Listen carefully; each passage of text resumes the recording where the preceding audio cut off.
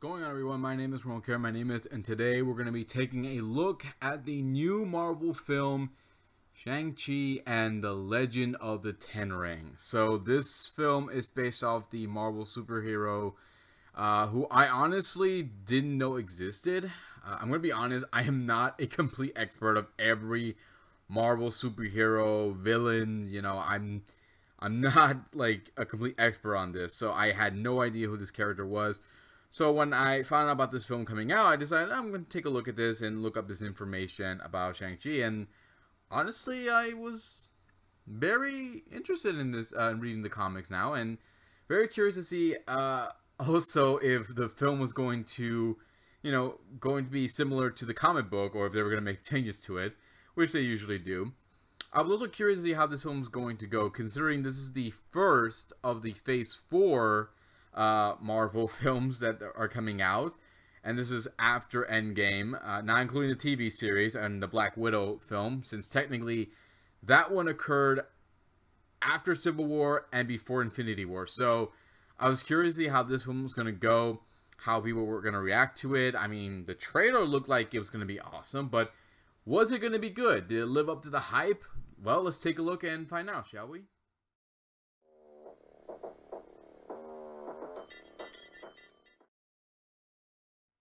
So the film focuses on Shang-Chi, uh, who lives in California with his friend, who are both trying to figure out what they're gonna do with their lives, what they want to do, uh, until uh, Shang's dad shows up and comes looking for him. And so now Shang has to confront his past, while eventually making a choice of what he will want to do with his life, and also keeping those that he loves, you know, safe. So that's pretty much the plot without going to further details, because I don't want to spoil this for you guys, because honestly this is actually a fun story. I, I really enjoy the first act where we're introduced to Shang and, you know, connecting with him right away. He's a very reliable character. You know, we're drawn to him and very interested to see how things are going to go with him for the story. We also get to find out a little bit more about his past. And honestly, I like how well it was done and you understand why he left, why he's trying to keep, you know, his past hidden. He doesn't want anyone to find out. He's trying to, you know, also uh, stay hidden from uh, from his family, or more particularly his father. All the while, they did a great job keeping the story nicely paced, not slowing down uh, on certain scenes, making everything fun, emotional, awesome, and you can connect with uh, what's going on. And all the while building up to the final act, which I thought was going to be big and epic, but it kind of hurt the story because it it didn't really live up to the hype and it did give us a big a big fight, but it uh yeah, it just wasn't what I was expecting. It wasn't that great. It's it was kind of crazy, and honestly, it just didn't feel satisfying by the end of it, uh, as I thought it was going to be. Uh, especially after all the builds they were doing between the father and son conflict. It doesn't mean it was bad, but I did wish that they could have done a better job with it. Now, again, I did like the first act. I thought they did a good job with that. I love the second act. But the third act, I think that's where it kind of, you know, died down a little bit, slowed down, and uh, kind of messed up with the momentum. But still wasn't that bad. I thought the ending was good. And very curious to see how the story is going to go, especially if they're going to make a sequel, which I hope they do. Uh, really did like the story. But it's just, again, just the final act kind of ruined it a little bit.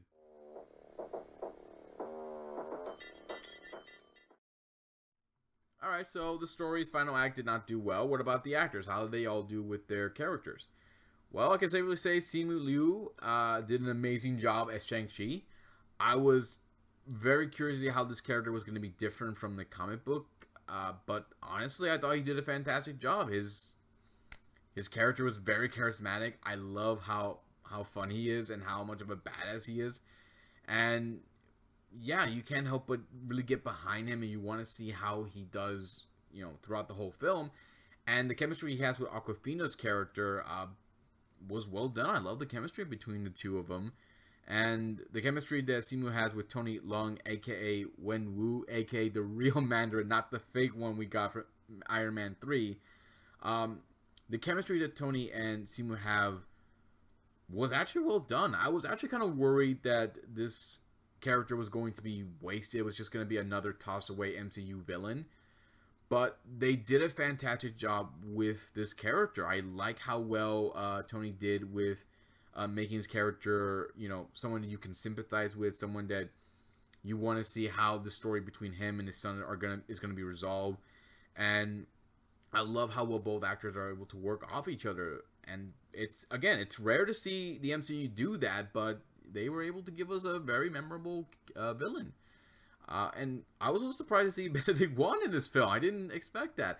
I mean, I knew uh, the Abomination was going to show up, but I didn't know Tim Roth was reprising the role to voice him again. So, okay, that was actually not bad.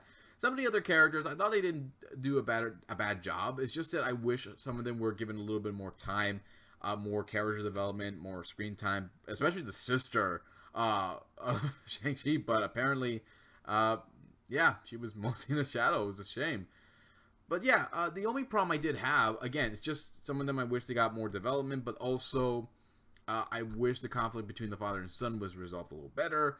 I wish that, you know, we got much better climax at the end, but still, it wasn't that bad. But honestly, I really did enjoy Simu's uh, portrayal as uh, Shang-Chi, so well done, sir, and I hope to see him again reprising that role.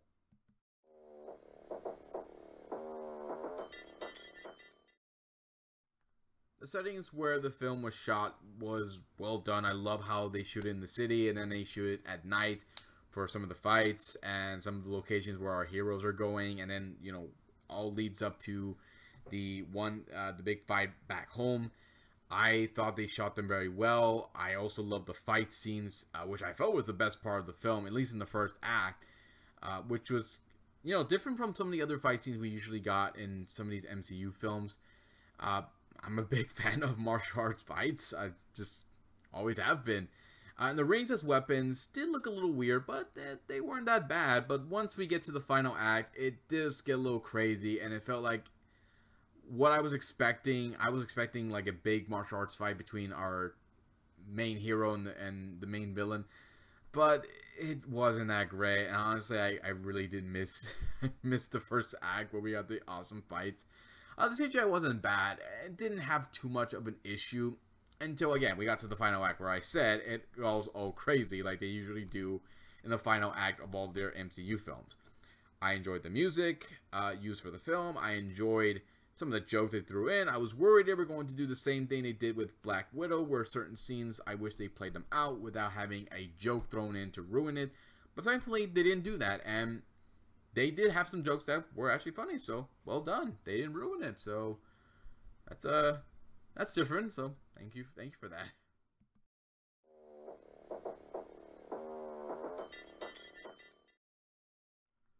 So, Shang-Chi and the Legend of the Ten Rings. Is it a good Marvel film? Yeah, it's a good film. I enjoyed how well they did with this film, with its story, its characters, and pretty much, well, everything else. I Again, I was just disappointed with the final act and felt like they kind of ruined it uh, and wish it was done a little better and a, a, little bit more with the character development for some of the other characters who I wish got some more screen time. But it was still good, and one that I think people will still enjoy. I am very curious to see how uh, what will happen with Shang-Chi and if he'll appear more in future uh, Marvel films. Uh, I'm also curious to see how Phase 4 will go, especially with films that they have planned for the future. I'm looking forward to seeing them and also looking forward to seeing Shang-Chi in the future as well. Uh, but yeah, this is a film I highly recommend if you are a fan of comic book films or you know you just want to see something fun to watch with a family friends or even loved one then i recommend checking this film out so yeah uh, that's pretty much it guys. You have a different opinion about this film leave some comments below. Let me know what you think. Hit the subscribe button check out my facebook page check out my twitter page. Check out t3 media's channel subscribe to their channel keep up to date with their videos. And uh, i will see you all next time to give you more love and more entertainment. Until then take care be safe love y'all and goodbye